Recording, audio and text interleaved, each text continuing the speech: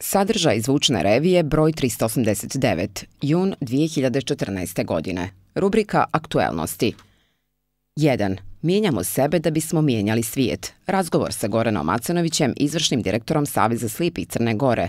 Razgovor vodio Miša Radovanović, saradnik iz Srbije. 2. Odluka Saveza slipih Crne Gore o odmorima za članove oštećenog vida i njihove pratioce po povlašćenim uslovima. Pripremila stručna služba Saveza slijepih. 3. Održani izbori i u organima Cetinske organizacije. Tekst pripremila stručna služba Saveza slijepih. 4. Savez slijepih osudio napad na Slobodana Popovića, člana Podgoričke organizacije. Izvor portal Kafe Montenegro. 5. Donacije kompanije MTEL Savezu slipih Crne Gore. Kupovina instrumenta. Izvor www.vijesti.me 6. Tiflo PG Mozaik za jun 2014. godine. Autorka teksta Anka Četković, sekretarka organizacije slijepih za Podgoricu, Danilovgrad i Kolašin. 7. Anđela Pimpinela, imenovana za predsjedavajuću komisije za gluvoslijepe osobe ESS. Prevela Bojena Laković, savjetnica za međunarodnu saradnju u Savezu slijepih Crne Gore. Rubrika Društvo i mi. 8. Kod profesora oštećenog vida niko ne može da prepisuje. Izvor www.disability.me preuzela i poslala Nada Vuković. 9. Dobri zakoni ne čine život dostojniji. Izvor Novi magazin. Izabrao i poslao magistar Slobodan Stanković, saradnik. 10.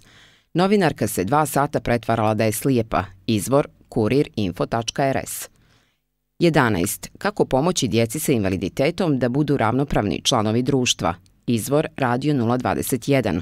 Preuzeo i poslao magistar Slobodan Stanković.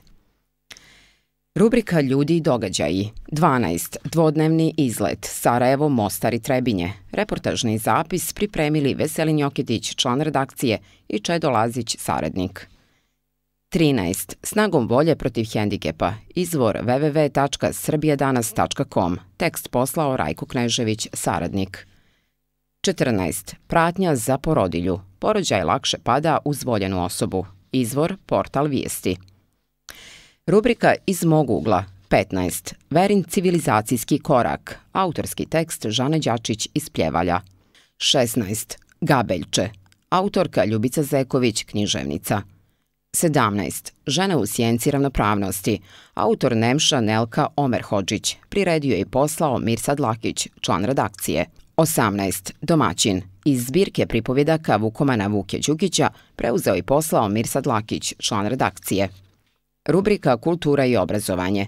19. Utočište od realnosti. Izložba Milana Šaranovića. Izvor Dnevni list Dan. 20. Akademija za slijepe guslare preuzeo i poslao Rajko Knežević, saradnik.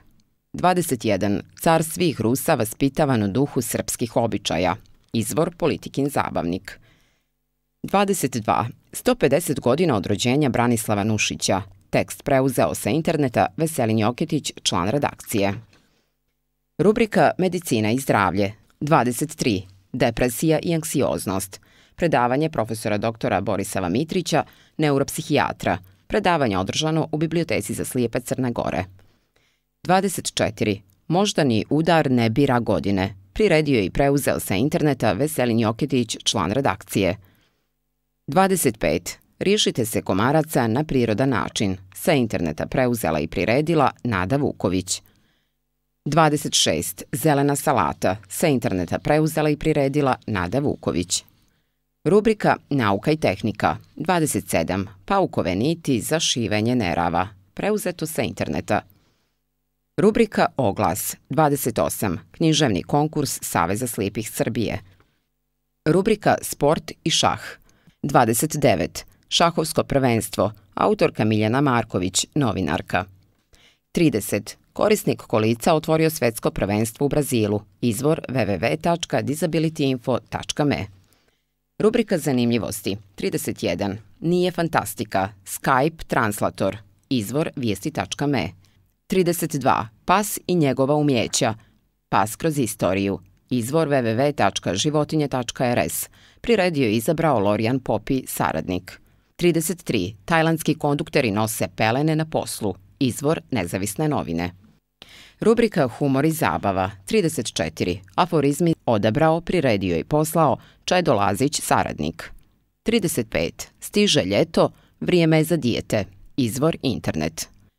Rubrika Mikrofon 36. Blagom riječju, pjesmom i harmonikom svojom ruši barijere. Autor teksta Čedo Lazić, saradnik. 37. Odjeva časopisa